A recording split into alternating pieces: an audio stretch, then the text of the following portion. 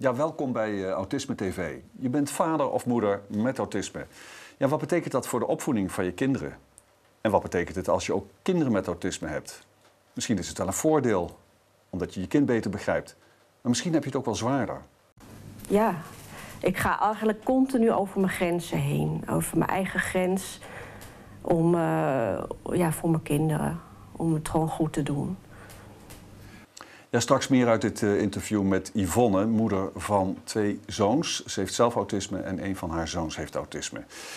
We gaan praten met twee boeiende gasten en ik stel ze graag aan u voor. Ik begin met uh, Nanda Tak. welkom, psychiater in opleiding. Ja. Wat is jouw betrokkenheid bij dit onderwerp? Ik heb uh, afgelopen jaar bij het uh, Dr. Leo Kannerhuis voor het eindproject van mijn opleiding een aantal ouders geïnterviewd over hoe het is om als ouder met autisme een kind op te voeden en wat uh, de invloed daarvan is op de ouder-kindrelatie.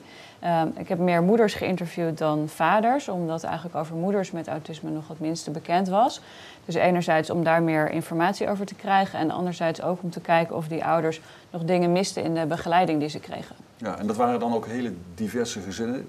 Ja, met, met, met, met kinderen met autisme, kinderen, zonder met en zonder autisme in één gezin, van alles, alle combinaties. Ja. Ik ga naar mijn tweede gast, Margot Verstijnen, uh, GZ-psycholoog, systeemtherapeut, bij Dr. Leo Kannenhuis onder andere. Oh, ja. ja. Wat is jouw betrokkenheid bij het onderwerp? Uh, nou, ik werk sinds zo'n 30 jaar met mensen met autisme en steeds meer ook met hun, uh, hun systeemleden, hun gezinsleden. Ik doe veel partnerrelatietherapieën, waar het ook heel ga gaat natuurlijk over de ouder-kindrelatie. En ik doe ook wel gezinstherapie. Ja, echte vrouw uit de praktijk. Ja.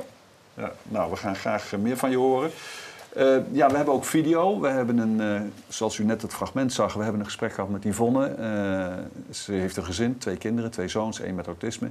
Ze vertelt daarover en we hebben haar gesprek opgedeeld in drie delen. En dat gaan we ook in deze uitzending bekijken. Ik ga u ook vertellen hoe onze uitzending in elkaar zit. Um, en dat ziet u nu op de achtergrond. Het eerste deel gaat over de vraag, ja, waar loop je tegenaan? Tweede deel over de vraag, wat zijn dan de gevolgen daarvan? En het derde deel gaat over de vraag, ja, wat kun je doen? Dat is meer het helpende deel. En natuurlijk, u kunt ook reageren. We hebben een chat. Uh, als u aan de rechterkant op het rode tapje klikt, dan schuift er een chatbox open. En daar kunt u vragen instellen, daar kunt u opmerkingen in kwijt. En die worden hier uitgelezen door een moderator. Die legt ze op tafel en wij gaan ze straks aan het eind van de uitzending bespreken. Uh, en dan zijn we alweer 40 minuten verder. Maar we beginnen met deel 1 van het gesprek met Yvonne.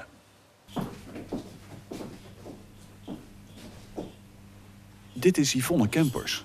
Twee jaar geleden kreeg ze de diagnose Asperger, een vorm van autisme. Eindelijk begreep ze waarom ze zich altijd al anders voelde.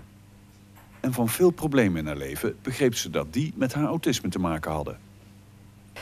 Uh, ja, heel veel puzzelstukjes die op een plek vallen. Dat je ja, eigenlijk al je hele leven aan het zoeken bent en uh, met, met problemen en psychische problemen. En dat je gewoon niet zo goed weet van uh, wat speelt er allemaal. En dan denk je van, god, al die, al die jaren dat ik zo me anders heb gevoeld dan de anderen, begrijp je gewoon van waar komt dat vandaan. Al haar leven lang doet Yvonne erg haar best andere mensen te begrijpen, zo vertelt ze. Ze observeert mensen veel en probeert op die manier te leren hoe je met mensen en situaties om kunt gaan. Maar het leven kost haar wel heel veel energie. Ze is vaak doodop. Dat ik echt heel veel moeite heb met, uh, met dingen ondernemen, verjaardagen. Uh, als ik er op een verjaardag ben geweest, dan uh, moet ik meestal twee dagen bijkomen. Eigenlijk continu over vermoeidheid. En uh, ja, dat ben ik eigenlijk al vanaf mijn jeugd. Heel moe. En ja, nooit weten waar dat vandaan komt. En nu, ja, nu weet je dat gewoon. Zes jaar geleden, in 2012, trouwt Yvonne. En krijgt uiteindelijk twee zoons. Jeden en Ochi. Die zijn nu vijf en bijna zeven jaar oud. Ja, gewoon het zorgen voor iets of voor, iemand, dat leek me gewoon heel mooi. Dat je ook, ja, en, en, vooral iemand of een kind uh, een jeugd kan geven die je zelf gewoon niet hebt gehad. Of die, uh, ja, ik heb niet zo'n hele gelukkige jeugd gehad door de alle toestanden. Dus je wilt dat in ieder geval uh, je kind gelukkig maken. Ja. Haar eerste jaren als moeder gaan goed. Yvonne wordt blij van het zorgen. Het geeft haar heel veel voldoening. Van dat, je, dat je iets hebt om voor te zorgen en ja, ook prettig. Gewoon de structuur. En uh, vaak weet je van, nou, je moet dan en dan mel, uh, drinken geven. En, en ja, heel erg gestructureerd. De eerste opvoedproblemen ontstaan als de kinderen wat ouder worden. De oudste zoon is thuis vaak driftig en vertoont lastig gedrag. Na een zoektocht krijgt hij op vierjarige leeftijd de diagnose autisme. Yvonne vindt het opvoeden erg zwaar. Uh, ik denk dat ik gewoon heel erg snel overprikkeld uh, raakte. Dat als, als mijn zoontje een driftbui had of zo, dan heb ik gewoon daarna echt een gevoel dat ik uitgeput ben. Dat ik echt even moet liggen van. Pff, gewoon net of je al je energie uit je lichaam uh, trekt. Dus, maar je moest wel verder. Ja. Hoe ging dat dan? Ja, gewoon doorzetten. Gewoon altijd doorzetten. En dat, vooral omdat ik het belangrijk vind uh, om, om de juiste opvoeding te geven. En uh, ja, ik ga eigenlijk continu over mijn grenzen heen. Over mijn eigen grens. Om, uh, ja, voor mijn kinderen. Om het gewoon goed te doen. maar heb je dan ook het idee dat jij daar meer energie in moet stoppen dan iemand die geen autisme heeft? ja, ik denk het wel. Waar, waarom dan? Waar zit hem dat dan in? Uh, ja, ik denk gewoon inderdaad door, door de overprikkeling. Dat ik gewoon continu uh, ja, zo, zo moe ben en zo mijn best moet doen om, om, om, ja, om hem de juiste manier te, op te voeden eigenlijk. Ja, dat was Yvonne. We komen nog twee keer bij haar terug in deze uitzending. Uh, ja, ik, ik, begin even met jou. Je kent haar, hè, Yvonne? Ja. Ze was deel van jouw. Uh, ja, ik heb haar geïnterviewd. Ja, ja klopt. Ja. Hoeveel ouders heb je geïnterviewd? Ik heb uh, zes moeders en twee vaders uh, geïnterviewd. Ja. ja. En waar liepen zij nou tegenaan? Wat, was nou, wat waren de, de, de problemen? Ja, hele verschillende dingen eigenlijk. Maar ook, waren ook dingen die ik bij iedereen terug hoorde. eigenlijk een van de eerste dingen die mij opvielen... was dat alle ouders die ik heb benaderd uh, meteen volmondig ja zeiden tegen het meedoen. Ze wilden eigenlijk allemaal graag zich inzetten om ook andere ouders en gezinnen die met dezelfde dingen worstelen te helpen. Dus dat vond ik heel uh, leuk om, uh, om te merken. Het waren dus allemaal ouders die zelf al een, diagnose hadden en die dus ook zich heel erg inzetten om te begrijpen welke invloed die diagnose had op hun, op hun gezin. Um, nou, we zijn eigenlijk vanaf begin af aan gaan doornemen van dus al vanaf de zwangerschap van welke invloed het autisme op de ouder-kindrelatie had gehad. En nou, het begon dus inderdaad nou, vanaf de zwangerschap al dat ze bijvoorbeeld heel spannend vonden dat je een bevalling niet kan plannen. Dus dat, uh, dat is iets wat al, al bij veel ouders wat stress opleverde. Want nou ja, ze zouden het liefst van tevoren weten hoe dat allemaal gaat, maar dat kan helaas niet. Ja. En nou ja, daarna komt dan de, kraamtijd en dan heb je een baby en nou, dan de behoeften van die baby die veranderen de hele tijd. Dus je moet de hele tijd inspelen op signalen van die baby. En ook elke keer als je weer gewend bent aan een bepaalde structuur, een bepaald schema, dan verandert dat weer. En dat uh, vertelden veel ouders dat ze dat heel, heel lastig vonden. Ja. ja. Ik, ik, las ook in een van jouw verslagen dat ze het bijvoorbeeld vervelend vonden om aangeraakt te worden ook. Hè? Dat was ook zo'n ding, hè? Tijdens de zwangerschap. Tijdens de zwangerschap. Ja, klopt. Ja. Ja, dus bij controles en zo en ook tijdens de bevalling, dan zitten er mensen aan je. En als ze dan niet goed van tevoren vertellen wat ze gaan doen, dan kan dat heel heftig uh, ja. zijn. En denk dan extra heftig als je al moeite hebt met aanraking. Ja. Dus uh, ja, dat kan lastig zijn. Herkenbaar voor jou? Ja, zeker. In de praktijk? Ja, ja zeker. Ja. Zijn, wat, wat, heb je aanvullingen daarop of uh, zijn dat wel de zaken die jij ook uh, tegenkomt? Ja, dat zijn zeker wel de zaken die ik ook tegenkom. Ik, heb, ik zie natuurlijk ook vrij regelmatig ouders uh, die zeggen wel autisme te hebben, maar nog geen diagnose. Of waarvan de partner zegt hij of zij heeft het vast ook en diegene zelf ontkent. maar die hebben dan bijvoorbeeld een kind met autisme, waardoor ze bij mij zijn. Um, dus dat is voor een deel dezelfde, maar voor een deel een andere doelgroep. En het feit dat dingen onvoorspelbaar zijn, dat blijft eigenlijk het hele leven van een kind. Kinderen zijn in ontwikkeling. Dus wat vandaag werkt, werkt morgen niet meer. En wat ze vandaag leuk vinden, is morgen stom. Maar kinderen zijn ook nog een keer, alle kinderen hoor, ook die van mijzelf, zijn volslagen onbetrouwbaar. Ja. En wat ze vandaag. vervelend. Ja, dat is heel ingewikkeld. En dat is denk ik voor alle ouders af en toe ingewikkeld.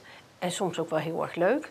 Maar zeker als je afhankelijk bent van de helderheid en als je je heel erg vasthoudt, omdat je voortdurend overspoeld wordt door alles aan de dingen die helder en duidelijk zijn, is dat extra ingewikkeld. Ja, want laten we dan even kijken naar de kenmerken van mensen met autisme. Als we Ja. vanuit die kenmerken redeneren. Ja, als je zegt uh, autisme is uh, contactproblemen, zijn communicatieproblemen, zijn weerstanden tegen veranderingen, zijn moeite met inleven en afstemmen. Dat zijn nou precies de dingen die je nodig hebt om een kind op te voeden. Waarmee ik niet zeg dat mensen met autisme geen goede opvoeders kunnen zijn, maar wel dat het een extra grote impact heeft op hen en daarmee ook op hun kinderen misschien. Ja, want dan kom ik toch bij de vraag, en dat hebben meer ouders, niet alleen ouders met autisme. Wanneer doe ik het nou goed? Ja, dat is, dat is ingewikkeld, hè? maar ik denk, hoe weet je nou als ouder dat je het goed doet? Door goed naar je kindje te kijken. Door te zien dat hij uh, zich ontwikkelt. Door te zien dat um, uh, ze, ze blij is, dat er een goede relatie ontstaat. Door dat aan te voelen. En dat is nou precies wat de meeste mensen met autisme zo ontzettend ingewikkeld vinden. Ja, want dan hoor ik ouders zeggen van, uh, als je de vraag stelt, en die heb jij waarschijnlijk ook ongetwijfeld gesteld, van gaat het goed met de opvoeding van je kinderen? Ja, het gaat goed. Mm -hmm. Maar gaat het dan ook goed? Ik bedoel, wat is op dat moment jouw uh, oordeel over wat goed is en wat niet goed is? Herken je dat? Dat nou, wel dat ouders heel erg op zoek zijn naar uh, houvast, inderdaad. En dat was ook natuurlijk een van de redenen voor de interviews om te kijken, krijgen ze genoeg begeleiding met de dingen waar ze tegenaan uh, lopen. Dus ja, dat ze erg op zoek zijn naar houvast, dat, dat merk je wel. Ja, wat dat invoelen, hè, waar jij het net over had, dat kijken naar je kind. Ja, dat zijn mooie termen allemaal, maar wat is kijken naar je kind? Hoe, hoe, moet, een, hoe moet je dat als ouder opvatten en begrijpen? Nou, die is heel ingewikkeld. Ik denk als je... Uh, dat heel veel ouders, een deel met, maar zeker ouders zonder autisme... zullen snappen automatisch wat ik zeg. Maar ook niet alle ouders. En het is... Uh, helaas zijn, zijn er veel meer ouders die ingewikkeldheden ondervinden... Uh, in de opvoeding en het aanvoelen van hun kind dan ouders met autisme ja, laten we die relativering ook maken. Hè? Want Ja, dat geldt precies. natuurlijk voor, voor heel veel ouders, ook zonder autisme. Hè? Precies. Zeker voor ouders met andere psychiatrische problematiek. Eh, ook ouders met depressie of met schizofrenie of vinden dit soort dingen ook allemaal heel ingewikkeld. Maar je hoeft ook geen last van dat soort dingen te hebben om ook ehm, het lastig te vinden of het ingewikkeld te vinden. Ik denk eigenlijk dat elke ouder bij tijden eh, zich vragen stelt hierover en zich daar zorgen over maakt. Ehm, dat vind ik ook een goed teken. Ouders die zich daar nooit vragen over stellen of zorgen over maken, denk ik dat in principe in potentie slechtere opvoeders zijn dan degene die wel reflectief kijken. Ehm, maar ik denk wel dat het autisme maakt dat het echt een veel grotere klus is eh, dan voor ouders zonder autisme. Ja. Nou, we gaan eh, naar deel 2 van ons eh, interview met, eh, met Yvonne en eh, ze vertelt daar ook iets over. En heeft het dan ook een voordeel dat jij zelf autisme hebt?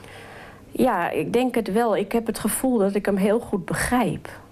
En eh, ja, ik zie ook zijn moeilijkheden. En dat is dus ook best wel zwaar. Want je ziet gewoon dat hij het moeilijk heeft in het leven. En je weet hoe dat is.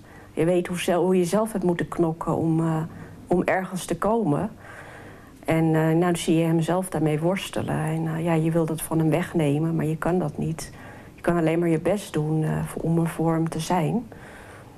En ja, doordat ik nu ook die diagnose voor hem heb, kan ik ook gewoon de juiste hulp zoeken die hij nodig heeft. Met de jongste gaat het allemaal veel makkelijker dan de oudste. Dat is elke dag een strijd. Al Alleen al om, om naar school te krijgen is al een gedoe. En eigenlijk ben je dan nog gewoon dood en doodmoe. Want je moet hem al met aankleden, is het al een, een gedoe om, om eh, zijn kleding aan te krijgen. Of om in beweging te krijgen dat hij op tijd eet. Je weet ook nooit eh, van tevoren hoe die, eh, hoe die zal zijn die dag. Dus en dat is voor mij, eh, voor mijn autisme natuurlijk ook wel weer heel erg moeilijk. Omdat ik eh, eigenlijk graag wil weten waar ik aan toe ben. En dat weet ik nooit met Jaden. Het is altijd anders. En heb je dan ook wel eens het idee dat de jongste misschien tekort schiet daardoor? Ja, daar ben je wel eens bang voor. Dat je dat gewoon heel naar vindt. En ze kunnen heel erg leuk samen spelen. Ze zijn echt gek op elkaar. Maar ja, je merkt ook dat eh, mijn jongste steeds vaker eh, ja, gaat merken dat zijn broer anders is. En heel dominant is. En ook een hele sterke wil.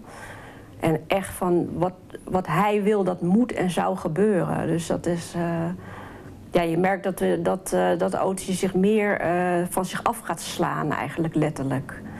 Dus hij is in het begin pikte die alles en nu is hij snel dat hij erop loslaat. En dat je dat weer een beetje in moet dammen.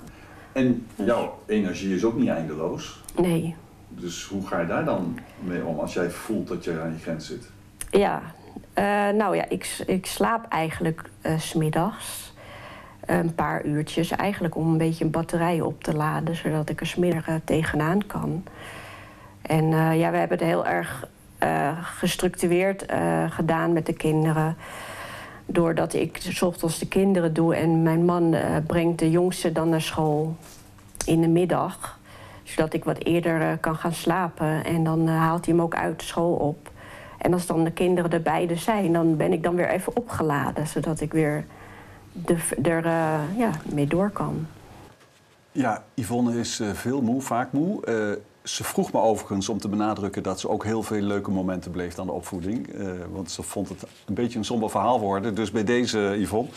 Uh, maar ik kom toch even terug op haar vermoeidheid. Ze noemt dat een aantal keren, ook in deel 1 en nu ook weer. En ze komt daar ook later weer op terug. Ja. Die vermoeidheid, is dat herkenbaar ook bij die ouders die je hebt geïnterviewd? Ja, ik kan me het inderdaad uit het interview met Yvonne nog herinneren. Maar ook dat het vaker uh, bij andere ouders terugkwam. Dat ze dat noemden als een groot probleem. En met name omdat ze vermoeid raken doordat ze overprikkeld raken. Door bijvoorbeeld het lawaai wat de kinderen maken, huilen, driftbuien. Dat is iets wat heel veel energie vreet als die prikkels bij jou harder binnenkomen dan, uh, dan bij de gemiddelde persoon. Mm. Dus dat is iets wat ik vaak, uh, vaak heb gehoord. Ja, want, nog even over die prikkelgevoeligheid. Want ik vind het ook altijd zo'n lastig containerbegrip. Hè? Ja. Dit, is het alleen maar geluid? Zijn het alle sensorische informatie, prikkels die binnenkomen? Of hoe moet ik me dat voorstellen? Ja, nou ja, dat uh, kan alle prikkels. mensen kunnen extra gevoelig zijn voor alle soorten prikkels. Dus voor geuren, voor geluiden, voor licht... En bij de ene is het vooral geluid en bij de andere is het vooral uh, licht. En dus dat verschilt heel erg per persoon. Maar geluid is wel iets wat, uh, wat ik van alle ouders in ieder geval die ik heb geïnterviewd bijna allemaal terughoorde. En misschien dat het ze ook meer gaat opvallen op het moment dat je vaak een huilend kind hebt of een kind met een driftbui, dat je mhm. dan merkt hoeveel last je daar eigenlijk van hebt. Maar is het dan die prikkels, hè? Dat, dat is één ding. Aan de andere kant het onvermogen of, of niet goed weten niet goed raad weten met de situatie hoe je daarmee om moet gaan. Dat, kost natuurlijk ook heel veel energie. Dat kost ook heel veel energie, ja, zeker. Dus alles bij elkaar. Ja, ja nee, het is een combinatie van, van, van die dingen, absoluut. Ja. ja. Hoe, hoe, krijg jij dat terug in jouw praktijk? Ja, zeker. Want de, de, de hele wereld verandert ook. Hè? En dat is voor iedereen, als je je eerste kindje krijgt, dan verandert alles. En je, jezelf verandert, eh, zeker als je de moeder bent. Um, maar ook als vader verandert er heel, heel erg veel. Hè? Je huis ziet er alleen al anders uit. Um, er staan in één keer allemaal babyspullen en uh, de geur in huis wordt anders en de geluiden in huis worden anders. Maar ook je partner verandert. Eigenlijk is er niks meer precies hetzelfde. En ook de omgeving verandert, want die gaat andere eisen aan je stellen. Die stelt in één keer eisen aan je als opvoeder, als verantwoordelijke voor zo'n kleintje.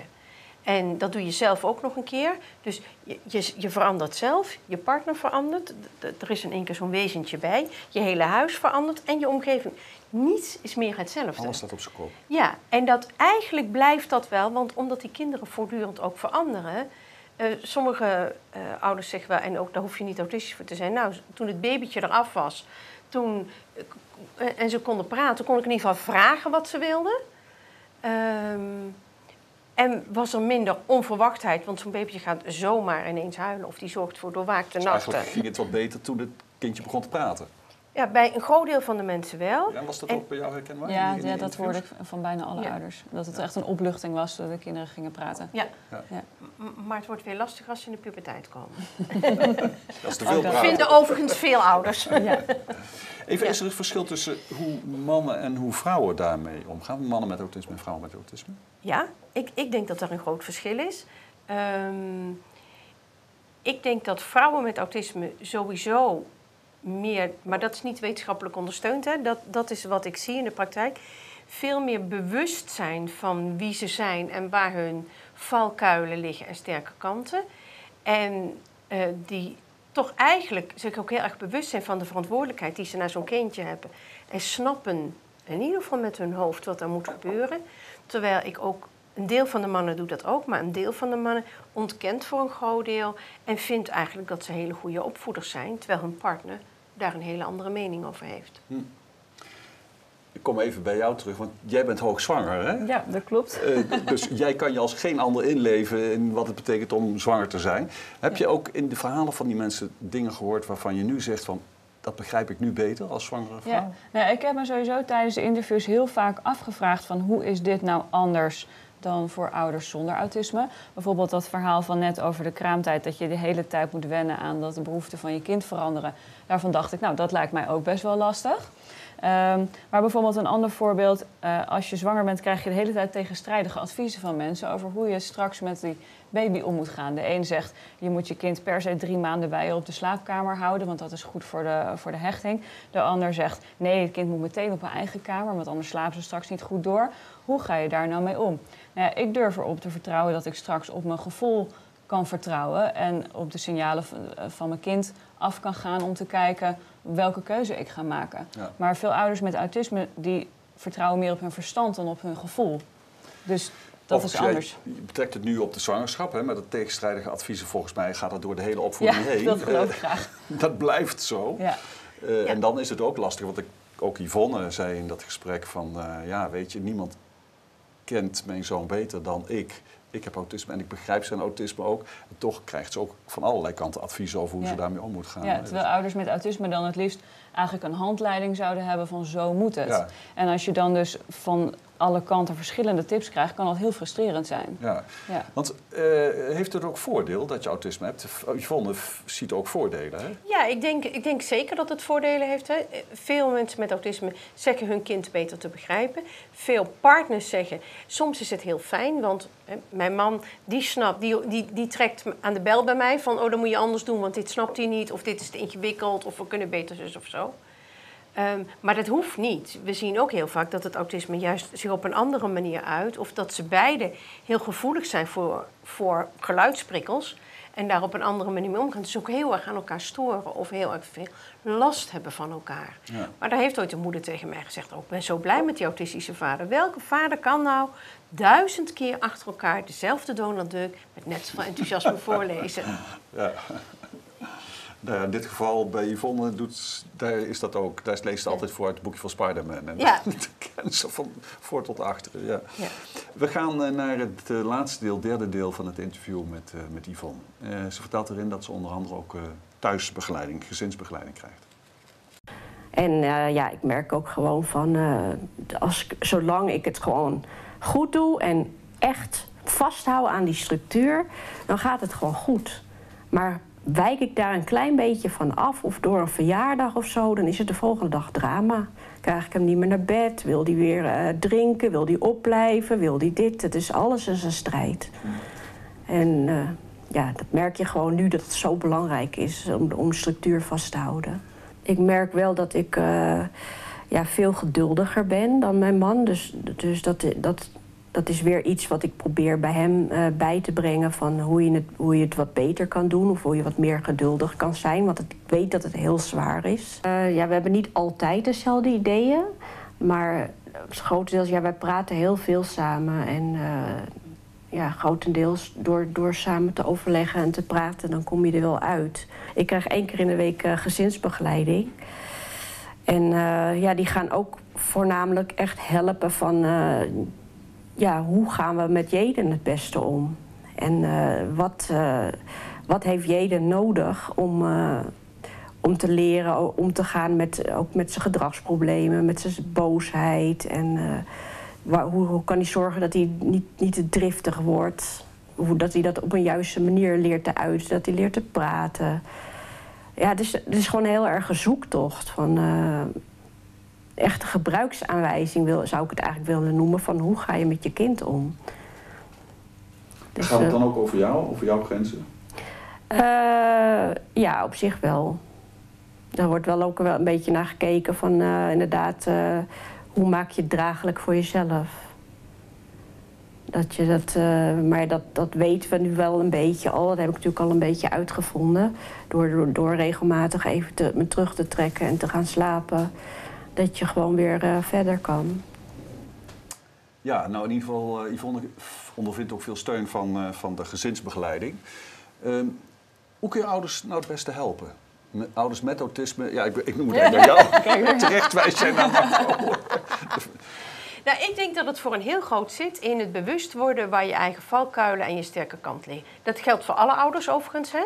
Maar eh, omdat het zo ingewikkeld is, ehm, en is het heel erg belangrijk om iemand naast je te hebben die wat meer van een afstand kan kijken en die misschien wel beter dat aan kan voelen, waardoor je daar vanuit steun krijgt. En dat is heel mooi als je dat vanuit je eigen netwerk hebt. Hè. Je partner die eh, bijvoorbeeld niet autistisch is, ehm, waar, je, waar je op kan vertrouwen, maar die er ook op kan vertrouwen dat je haar of zijn adviezen meeneemt, ook al voelt het zelf niet zo. Ik spreek veel partners van die ook wel heel boos zijn op een partner met autisme of heel verdrietig daarover zijn dat die ander zo slecht aanvoelt, maar dat niet erkent, waardoor er weinig ja, beweging in kan komen. Ehm, dus ik denk dat het heel fijn is als dat vanuit eigen netwerk kan gebeuren. Maar ik vind ook dat we als hulpverleners daar een antwoord op moeten hebben. Zowel in de ondersteuning van de kinderen als in de ondersteuning van ouders met autisme en hun gezin. Van hoe, hoe doe je dat nou op de beste manier? Ja. En af en toe een, spiegel kunnen zijn of mee kunnen denken of heel gericht met z'n stuk ontwikkeling doorlopen. Hoe ontwikkelen kinderen zich nou? Ja. En wat hebben ze nodig? En het is heel gewoon dat kinderen niet meteen luisteren. Bijvoorbeeld. even eh, terug op jouw onderzoek. Hè? Want wat, wat jij, waar je eigenlijk mee bezig bent, is het ontwikkelen van een vragenlijst. Hè? Om die, die opvoedrelatie helder te krijgen. Hè? Ja, Kun je er iets over zeggen? Nou, eigenlijk om, ehm, om te kijken of het kan helpen om op een gestructureerde manier eh, de ouder-kindrelatie in kaart te brengen. Zeg maar, om te kijken of er daar punten uit naar voren komen waar je de begeleiding op kan toespitsen. Ja. Maar dat is, is nog helemaal een beetje in het begin. Nee, nee, nee, maar het is wel... Dat is er dus niet. Eh, nou, veel mensen die doen het vanuit hun ervaring eigenlijk. eh, eh, want Ja. dan weet je natuurlijk ook waar je naar moet vragen. Maar de vraag is of als, je, als er meer, steeds meer ouders met autisme voor begeleiding eh, komen, omdat er eigenlijk eh, nog steeds, denk ik, bij veel ouders nu meer diagnoses worden gesteld dan bijvoorbeeld tien jaar geleden, dan eh, zou het kunnen zijn dat zo'n vragenlijst wel handig kan zijn, dat meer hulpverleners daar ook mee aan de slag Ja, omdat kunnen. het je misschien een bepaalde richting al opstuurt of Ja. wijst. Ja. Ja. Wat gaven ouders in jouw gesprekken aan wat helpend is voor henzelf? Eh, nou, eigenlijk eh, dat ze goed met hun partner leren communiceren over wat ze nou precies lastig vinden. En dat onder woorden leren brengen, want dat is voor veel mensen met autisme lastig. Ehm, en dat ze eh, gewoon erkenning krijgen voor de dingen die zij, waar ze jarenlang tegenaan zijn gelopen. Want er waren ook eh, meer ouders eh, dan, eh, dan niet die depressieve klachten hadden gehad, bijvoorbeeld. Met name in de periode voordat ze de diagnose hadden gekregen, omdat ze niet goed begrepen waarom lukt het bij die andere mensen nou, of lijkt het die andere mensen wel allemaal te lukken en mij niet.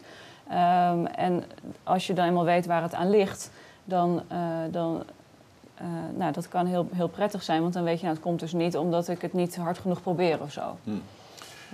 Even naar jouw praktijk, hè? want maak jij nou ook mee... We hebben het voorbeeld van Yvonne gezien en ik heb de indruk dat zij het aardig op de rit heeft. Hè? Dat ze met de het partner wel. wel goed uitkomt Ja. en dat ze structuur heeft gevonden. En zij gaat smiddags naar bed en dat wordt ondersteund ook door, door haar partner. Hoe- Wat, hoe ernstig kan het zijn? Wat maak jij mee in de praktijk? Ja, die, die vind ik lastig te beantwoorden. Ik, ehm, wat ik met name zorgelijk vind, is als je eh, niet zozeer via het kind de aanmelding krijgt, maar een echtpaar zich bij mij meldt dat ze bijvoorbeeld partnerrelatietherapie willen. En dan zie je een meneer of mevrouw met autisme die soms heel boos is, soms heel verdrietig is, nog veel rouw heeft, ehm, nog weinig zicht heeft op eigen functioneren, zich tekort gedaan voelt, ehm, zich heel erg bekritiseerd voelt, voelt dat hij iem- iemand anders moet zijn dan die is. En de partner heeft eigenlijk dezelfde gevoelens eh, vanaf de andere kant. En die twee mensen komen dan bij mij binnen en dan hebben ze drie kinderen thuis rondlopen. En dan vraag ik me soms heel erg af van God, hoe ver hebben zij nog de, de kracht en de energie om goed naar hun kinderen te kijken en te snappen wat die nodig hebben? En of in hoeverre hebben deze kinderen zich zo aangepast aan deze mensen dat hun eigen ontwikkeling gevaar loopt? Ja, ik, ik sluit even aan op dat onderwerp, hè, kind zijn van een ouder met autisme. Daar hebben we het vanavond ook specifiek niet over gehad. Hè, want omdat we hebben gezegd van dat is misschien zelfs wel een aparte uitzending waard. Er zijn zoveel dingen over te zeggen. We moesten ook een keuze maken. Ehm, ik bij Yvonne, die heeft daar een goede weg in gevonden. Wat, zou, wat is dan jouw tip, zeg maar? Wat is jouw advies voor ouders die worstelen met deze vraag? Nou, ik denk dat het begint met erkennen wat er met je aan de hand is. Snappen. En helemaal do- doe je het niet, maar ik kan ook wel van mezelf zeggen dat ik mezelf niet helemaal. dat ik soms wel denk: jeetje, wat een stomme teut, waarom Ja. doen we dat? Hè? Maar in principe snappen wat, wat er met je aan de hand is, waar je sterke kanten liggen, waar je valkuilen liggen, en daar met elkaar over praten. En dat is eigenlijk precies wat jij zei, dat ouders aangaven. En dat is wat we proberen te doen in de partnerrelatietherapie als, er, hè, als, als ouders hiermee komen. Dus je hebt aan de ene kant nodig heel gerichte opvoedingsvaardigheden en hele gerichte uitleg over wat heeft een kind nou nodig en hoe ontwikkelt een kind zich. En aan de andere kant juist heel erg met elkaar daarover praten en naar jezelf durven kijken en erkennen dat, nou, dat dit ingewikkeld is. Ja. En, en daar hoort ook bij dat je soms misschien denkt van... hé, hey, ik heb ook bepaalde talenten die een voordeel zijn van me. Hè? Dus Ja, eh, het, is Ja. de- het is die balans, hè? Ja. Ja.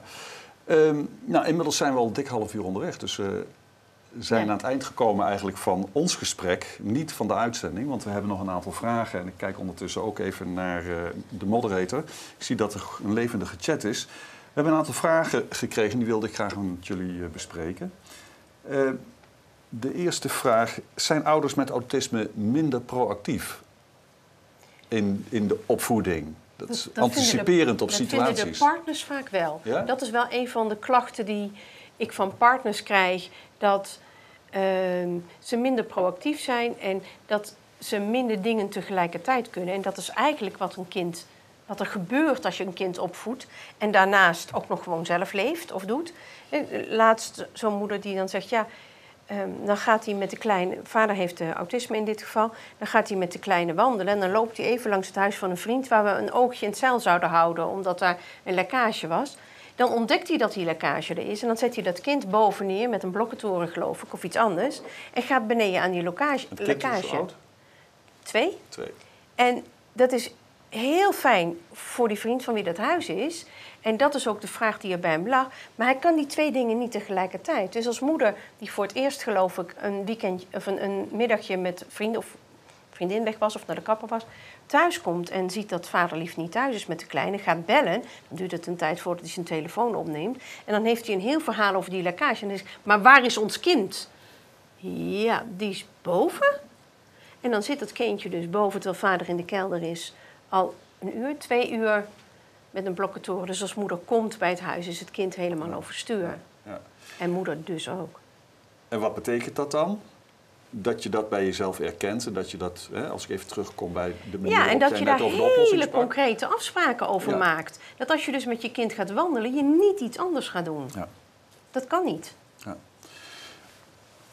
Herkenbaar? Dat, heb jij, zijn er dingen gezegd over dat proactief handelen, dat anticiperen, kunnen anticiperen op situaties? Ja, ik heb niet de partners gesproken van eh, eh, de mensen die ik heb geïnterviewd. Dus de Margot's observatie die, die, eh, heb ik wat dat betreft niet. Maar wat, wat ik wel heel van vind, wat jij ook zegt, is dat het zo belangrijk is om goede afspraken te maken Ja. over, over dit soort dingen. Gelukkig houden de meeste mensen van autisme van hele goede afspraken maken. Dus dat is eigenlijk een, een voordeel. Eh, Maar dan moet je het maar dan moet, moet het wel, ja, en, maar, en dan moet het wel lukken. Ook En om je, die moet afspraken erke- te maken. en je moet erkennen dat je die afspraken nodig hebt. Ja, En dat Ja, is dat- het die stukje erkenning, wat, die erkenning hè, van jezelf, wat Ja. je ingewikkeld vindt. Ja. Ehm, hoe verdeel je de aandacht? Ja, dat is ook bij Yvonne aan de orde geweest. Die heeft een zoontje met en een zoontje zonder autisme. Eh, ze heeft nog veel meer gezegd natuurlijk dan wat we hebben laten zien. Maar da- daar worstelt ze wel heel erg mee. Ja. Dat zoontje met autisme vraagt ontzettend veel aandacht. En ze, ja, ze is toch bang dat dat zoontje zonder autisme een beetje komt. tekort Ja. komt. Ja. Maar dat Ja. is denk ik een probleem wat elke ouder, wat elke ouder wel een beetje kent. Hè? Van god, hoe doe ik dat op een goede manier? Maar zeker als de hoeveelheid aandacht die een kind nodig heeft om groot te worden, zo verschillend is. En je hoeft helemaal zelf geen autisme te hebben om dat ingewikkeld te vinden. Dit is wat eigenlijk alle ouders van kinderen met autisme, waar meer kinderen in het gezin zijn, als enorm probleem aangeven. Hoe doe je dat op de goede manier? Ja, jij zegt nu, en dat zeggen we regelmatig, wat een kind nodig heeft. Hè? De aandacht Ja. die, maar hoe, hoe, hoe weet je dat? Hoe weet je hoeveel, kind, hoeveel aandacht een kind nodig heeft? Nou ja, een kind met autisme of trekt zich terug, hè, dat, dat, dat is ook een deel van het probleemgedrag. Maar zeker een kind met autisme wat de aandacht wel vraagt, die krijgt wel wat hij nodig heeft. Misschien, Ja. waarschijnlijk. Maar het kindje daarnaast, wat denkt, oh, of je moet hier blijkbaar gillen en schreeuwen om aandacht te krijgen, dan krijgt hij het ook.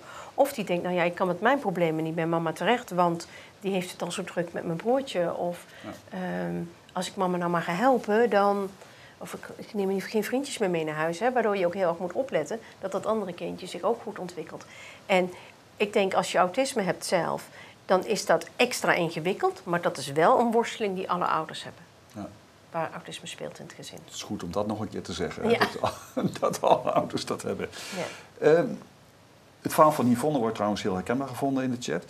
Waar zijn, autisme, waar zijn ouders met autisme nou heel goed in, in de opvoeding? Is een vraag. Ik denk eh, structuur bieden.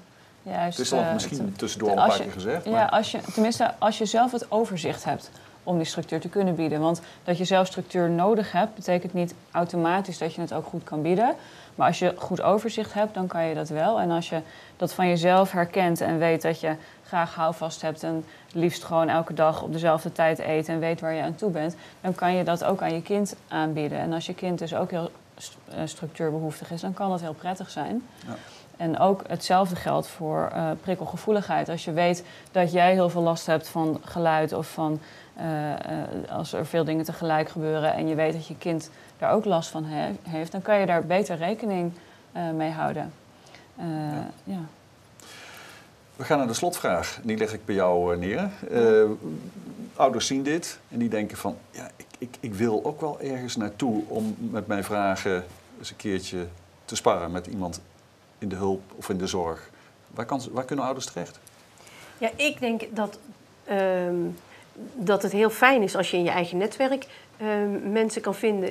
Niet om het af te schuiven naar het eigen netwerk, maar omdat die er veel dagelijks erbij zijn, veel meer zien wat er echt gebeurt. Maar ik vind eigenlijk ook dat we als hulpverlening daar een antwoord op moeten hebben. En ik denk dat veel ouders terecht zouden kunnen bij jeugdzorg. Niet zozeer omdat het kind een probleem heeft, maar omdat die gewend zijn om naar de ouder-kindrelatie te kijken en eh, de ontwikkeling van kinderen uit te leggen en snappen wat een kind nodig heeft. Dus ik denk als je als ouder met autisme het ingewikkeld vindt hoe je, om, om te bepalen of je het goed doet en hoe je het moet doen, dat ik me kan voorstellen dat jeugdzorg daar een antwoord op zou moeten hebben. Oké. Dank jullie wel voor eh, dit gesprek, voor alle boeiende informatie. Succes met eh, de bevalling binnenkort. Ehm, en eh, ja, ik zie u graag terug. U ook bedankt voor alle reacties natuurlijk, want er is behoorlijk gereageerd in de chat. Bedankt voor het kijken en ik zie u graag terug bij een volgende uitzending.